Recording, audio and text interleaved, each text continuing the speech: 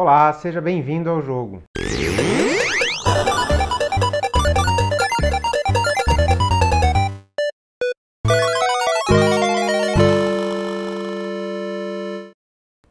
Rodrigo Arantes, eu sou fundador do Instituto A Jogada, um instituto de gameologia, e há mais de oito anos eu trabalho no desenvolvimento deste kit de ferramentas que você está agora tendo acesso gratuitamente, que foi desenvolvido para corrigir algumas falhas do nosso sistema educacional que afetam a nossa juventude com desemprego e subemprego. As ferramentas desse kit gratuito de gestão de projetos já estão sendo utilizadas por muitas pessoas para a resolução de diversos tipos de problemas, tais como passar em provas e concursos, criar e gerenciar projetos, organizar planos e dinâmicas de aulas, projetos científicos, organizar de modo eficiente seus espaços de estudo e trabalho e até no apoio a processos psicoterapêuticos. Em outras palavras, esse kit gratuito de gestão de projetos é uma chave mestra para a resolução de diversos problemas que nós não podemos mais ignorar com o novo normal deste mundo pós-pandemia que vivemos hoje. Mas nesse vídeo, antes de explicar mais sobre esse kit de ferramentas e quais problemas ele resolve, e como ele será um importante instrumento de combate ao desemprego e ao subemprego no Brasil,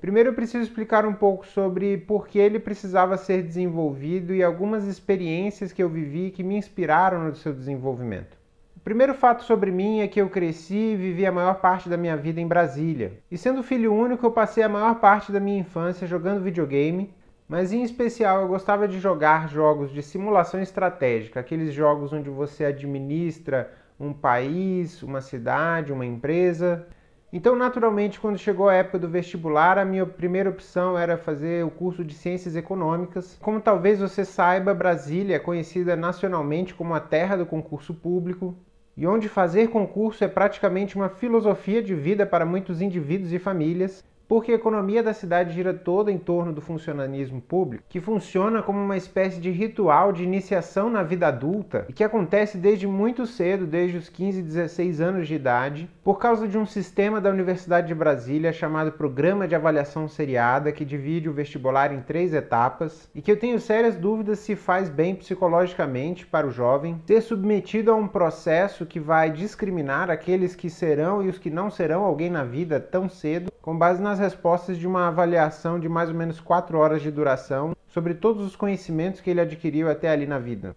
Na minha vez de fazer vestibular, isso foi um pouquinho mais traumático, porque na segunda etapa da avaliação seriada eu fui desclassificado porque demorei dois minutos a mais preenchendo aquelas bolinhas do cartão de resposta, de modo que eu só consegui ser aprovado no vestibular de Ciências Econômicas porque, sem saber na época, eu usei princípios de gamificação para planejar o meu estudo, mas quando eu estava lá pelo segundo semestre do curso de Ciências Econômicas, eu comecei a entrar em conflito com uma das matérias mais importantes do curso por causa de um conteúdo que era abordado nessa matéria chamado Teoria Axiomática do Consumidor Racional, que basicamente é um conjunto de leis e fórmulas matemáticas inventadas para prever o comportamento foi nesse período que eu desenvolvi um grande interesse pela área da psicologia e acabei me apaixonando por um sistema de análise da psicologia humana chamado Enneagrama da Personalidade, que é baseado justamente na matemática, e me tornando dono da maior comunidade de Orkut do Enneagrama da época. Foi como eu comecei a minha carreira na internet. O gosto por essas duas áreas acabou influenciando uma decisão que foi a mudança para o curso de administração me fazendo colocar na cabeça a ideia de morar em São Paulo, onde eu poderia ter a chance de trabalhar na área que eu mais gostava dentro da administração, a área da inovação. Depois de alguns meses morando em São Paulo e procurando emprego, eu recebo um convite de uma das primeiras aceleradoras de startups do Brasil, a Startup Farm, na época liderada por Felipe Matos, o atual presidente da Associação Brasileira de Startups, e fui contratado para trazer o evento de aceleração de startups para Brasília, sendo em 2012 um dos primeiros eventos que acontecia na área na capital e que introduziram na cidade pela primeira vez algumas metodologias modernas de aceleração de startups, como o Startup Enxuta e o Business Model Generation. Mas esse período de trabalho com essas metodologias estrangeiras em território brasileiro me fez identificar alguns obstáculos para a sua aplicação em nosso território e que tornavam essas metodologias incompatíveis com a maior parte das realidades econômicas do Brasil, como ter uma taxa de juros quase 10 vezes maior que a americana e europeia, além de um ecossistema de inovação muito mais atrasado. Para fazermos uma comparação ilustrativa entre começar um negócio no Brasil ou nos Estados Unidos e Europa, seria como imaginarmos tentar decolar um, um foguete de um planeta pequeno onde a gravidade é baixa, um pulo você já consegue subir vários metros da altura de um prédio, ou de um planeta com uma gravidade muito mais forte que a Terra, onde até para ficar em pé já é muito difícil. De 2012 a 2022, a taxa de juros até chegou a cair um pouco durante um período, mas foi acompanhada por uma subida muito forte do dólar, que eleva muito os custos do acesso a tecnologias estrangeiras, e agora em 2022 temos um cenário ainda mais difícil, com dólar alto e juros altos. Isso me fez concluir que para empreender no Brasil não bastava ser uma startup enxuta. Era necessário ainda que o empreendedor tivesse alguma jogada genial para conseguir decolar o seu projeto. E que com isso ele pudesse resolver os seus problemas com colaboração e não apenas com dinheiro. E que são possíveis nos mercados dos Estados Unidos e da Europa, pois lá, como o juros é muito mais baixo, é muito mais fácil para o empreendedor conseguir o capital necessário e resolver os seus problemas individualmente sem precisar tanto de colaboração. E falando mais uma vez em colaboração, outro fato que muito me impressionou foi de uma empresa que tinha agendado uma reunião com uma das maiores startups do Brasil na época, com a qual o seu produto tinha uma alta sinergia e que faltando cerca de uma semana para essa reunião, os sócios brigaram, foram cada um para um canto e aquela oportunidade única foi perdida para sempre. O que me fez ver mais uma vez que mesmo que toda aquela metodologia tivesse racionalmente 100% correta, o fator humano por trás desse lado racional ainda criava uma série de incertezas e mistérios que tornavam o processo de empreender muito mais difícil. E foi sobre isso que eu decidi me concentrar após essa experiência do Startup Farm, abrindo a minha primeira empresa, a Catalyse, onde eu comecei a aplicar os princípios da administração junto com os meus conhecimentos sobre o Enneagrama da personalidade, tentando com isso de alguma forma gamificar a colaboração entre os participantes de um projeto. E durante esse período eu atendi três projetos muito importantes, que foram o departamento inteiro de ouvidoria da matriz da Caixa Econômica Federal, uma startup de turismo e uma startup de música, e que me fizeram perceber que faltava ainda alguma ferramenta que colocasse de modo evidente, explícito, o que estava em jogo em cada decisão que as empresas tomavam. E foi aí que eu comecei a me aprofundar cada vez mais nessa área nova de pesquisa que até o momento era conhecida por gamificação. Pouco tempo depois disso vieram aquelas manifestações de 2013 no Brasil, e que me fizeram intensificar a pesquisa sobre algum tipo de jogo que pudesse ser aplicado na educação, que fosse capaz de usar aquela energia criativa para algo positivo. Assim, em janeiro de 2014 foi publicada a primeira edição do livro A Jogada, apenas em formato digital, sendo a segunda publicação sobre o assunto na Amazon brasileira. Depois disso, eu também passei a militar politicamente pelo desenvolvimento do ecossistema de inovação do Distrito Federal e fui eleito presidente do Grupo de Trabalho de Ciência, Tecnologia e Inovação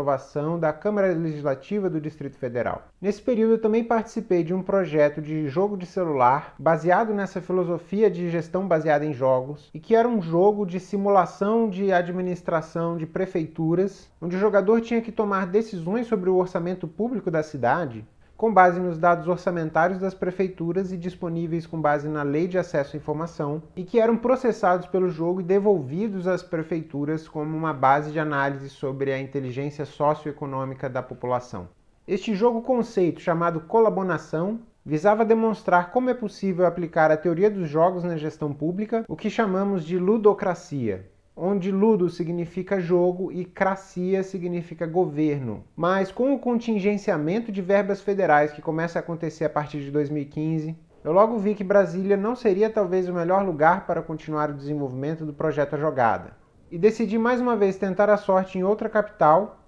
desta vez no Rio de Janeiro, onde fui convidado a participar da criação de um coworking e depois de um projeto de tecnologia que incubamos no programa Startup Rio. Mas isso aconteceu no ano de 2016, o ano dos Jogos Olímpicos do Rio de Janeiro. E desta vez foram as verbas estaduais do estado do Rio de Janeiro que foram contingenciadas e frustraram nossos planos mais uma vez. Mas um fato interessante que aconteceu nesse período, durante uma noite num hostel na Zona Sul, foi o de uma luta de UFC onde uma multidão de pessoas se juntou no hostel para assistir e entre uma das rodinhas de participantes, uma pessoa revelou que havia apostado o valor de 10 mil reais naquela luta, na vitória do lutador brasileiro, e que acabou perdendo a luta por nocaute logo no primeiro golpe. O que me deixou muito indignado com essa situação, onde por juros altos é muito difícil obter capital de investimento para projetos de risco, o investimento público, quando a gente consegue, é contingenciado, e dinheiro privado é investido em jogos de azar, que são jogos de soma zero, onde alguém ganha ou que alguém perde. Mas também me fez pensar sobre por que não existem no Brasil ambientes como aquele onde é socialmente divertido realizar apostas, mesmo estando num país onde o juro é alto, a renda fixa paga bem e o investidor, de modo geral, é avesso ao risco. E essa experiência me fez focar os próximos dois anos no desenvolvimento dessa metodologia, criando assim as bases metodológicas e teóricas para a criação de ambientes como aqueles e que estimulassem negócios de impacto positivo e transformação para o mundo com a mesma diversão que aquele ambiente proporcionava. E em 2018 foi publicada a segunda edição do livro A Jogada, agora em português e inglês, e agora com três tabuleiros de projetos e duas planilhas gamificadas de balanço patrimonial. Em 2019, na Campus Party Brasília 3, tivemos o privilégio de pela primeira vez demonstrar publicamente a aplicação dessas ferramentas no Estádio Nacional Mané Garrincha e a realizar durante uma sessão de 1 hora e 45 minutos uma sessão de gamificação de negócios, onde os participantes criavam e abriam o capital de seus projetos, simplesmente indo à frente e apresentando o seu projeto ao grupo e convidando outros participantes a entrarem como investidores ou colaboradores de seus projetos, preenchendo as fatias vazias da sua pizza de capitais. Então, com isso, nós demonstramos que com a ludocracia é possível transformar uma simples folha de papel numa burocracia 2 ou 3.0, onde cada papelzinho nesse plano de negócios é passível de direitos autorais e que, portanto, correspondem a papéis ou ações de um projeto e que podem representar com facilidade tanto ativos tangíveis como intangíveis que fazem parte desse projeto. Isto é possível porque, como o tabuleiro a jogada é licenciado em Creative Commons, este design seria como registrar em um CD o contrato de uma empresa. Se você grava uma palestra num CD gravável, você é o dono dos direitos autorais dessa palestra. Da mesma forma, se você colocar os seus dados num tabuleiro a jogada, criando um negócio, você é o dono dos direitos autorais ou dos direitos sobre esse negócio, pois o tabuleiro a jogada é nada mais que uma mídia circular, uma mídia em disco para registro de um contrato ou de um projeto. Não parece estranho que o mundo da música há mais de 100 anos já utilize o formato em disco para registrar composições que já foram os LPs, os CDs, os DVDs, os Blu-rays, que é o formato dos HDs dos nossos computadores. Mas até hoje, contratos milionários ou bilionários são registrados em uma folha de papel como se ainda estivéssemos no tempo da partitura. Outra analogia interessante que podemos fazer com o design do tabuleiro à jogada é com a de uma cartela de um bingo ou de uma loteria que você pudesse mudar os dados da sua jogada até que você fosse premiado. Ou seja, esse tabuleiro é como se fosse uma cartela de loteria que já vem premiada, mas que o prêmio é pago pelo mercado e que só é pago quando você conseguir ajustar os dados colocados nessa fórmula de um jeito que resolve matematicamente o problema de mercado que você está tentando resolver. Como isso seria possível? Da mesma forma que desde 2017 as maiores empresas do mundo são as empresas de dados e não mais as empresas de petróleo. Na era da informação, os dados são o novo petróleo, mas você só consegue transformar seus dados em dinheiro se você estruturar os seus dados, que é o que você faz todos os dias quando usa todos os aplicativos de redes sociais, enviando seus dados para os HDs de alguma big tech e que venderá os seus dados para anunciantes que quiserem ter um pouco da sua atenção. E é aí que está o valor da metodologia jogada, porque ela oferece uma estrutura que, uma vez que você entenda, você não vai precisar nem mais do tabuleiro ou do livro, porque uma vez obtido esse conhecimento, você reproduz essa estrutura onde você quiser. Quanto será que vale um conhecimento como esse? Com essa tecnologia na bagagem, eu tentei fazer o que seria mais uma vez o mais lógico para um empresário brasileiro e tentei levar essa tecnologia para o maior centro de negócios do Brasil, mas pouco tempo depois chegou também em São Paulo o vírus Covid-19, que em pouco tempo fez de São Paulo o epicentro mundial da pandemia que nos obrigou a adiar por um tempo os projetos em espaços físicos para o desenvolvimento das atividades digitais do Instituto A Jogada. E em 2021, quando a pandemia nos deu chance, reproduzimos pela primeira vez a experiência da Campus Party numa escola particular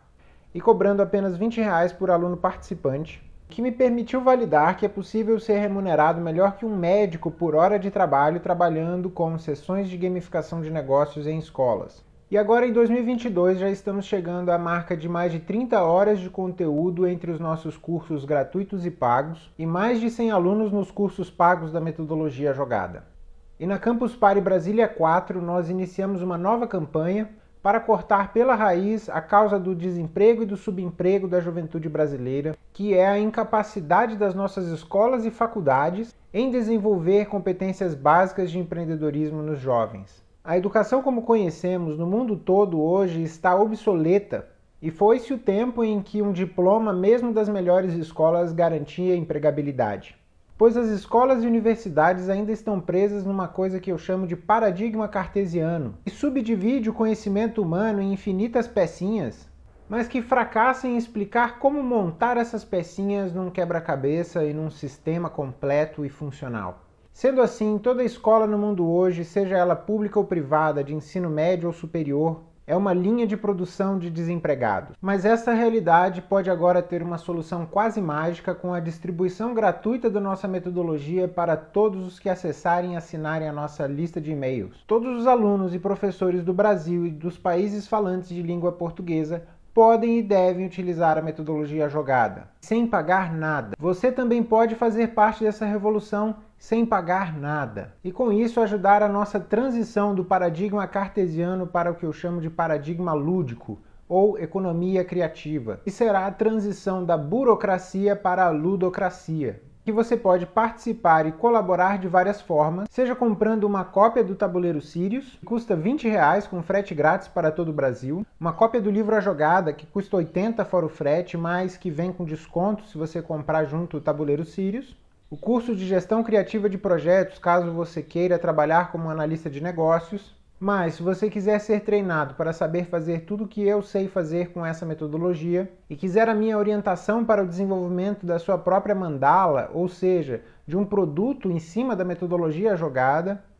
aí eu recomendo você fazer a formação de Playmasters do Instituto A Jogada, que é um curso com mais de 20 horas de conteúdo voltadas para o desenvolvimento humano, desenvolvimento de equipes e que inclui com ele também todos os outros cursos do Instituto A Jogada, incluindo os que serão lançados futuramente e que vai habilitar você a fazer um pouco de cada uma das 15 profissões que mais pagaram bem em 2021. Profissões com salários que vão de 15 mil a mais de 30 mil reais. Por ser uma certificação profissional de nível internacional, o preço dessa formação fica fixado acima de mil dólares para equiparar a nossa certificação à de outros institutos internacionais de gestão de projetos. Mas se você sentir o chamado e não puder pagar mais de R$ 5.500 por essa formação e orientação científica no desenvolvimento do seu projeto ou produto, entre em contato conosco para o e-mail contato@jogada.org, nos fazendo alguma proposta e nós poderemos ver o seu caso e fazer alguma contraproposta para você. Obrigado por assistir esse vídeo e continue assinando essa lista de e-mails caso queira receber notícias, séries, análises e outras novidades do Instituto A Jogada. Nos vemos em breve. Tchau, tchau.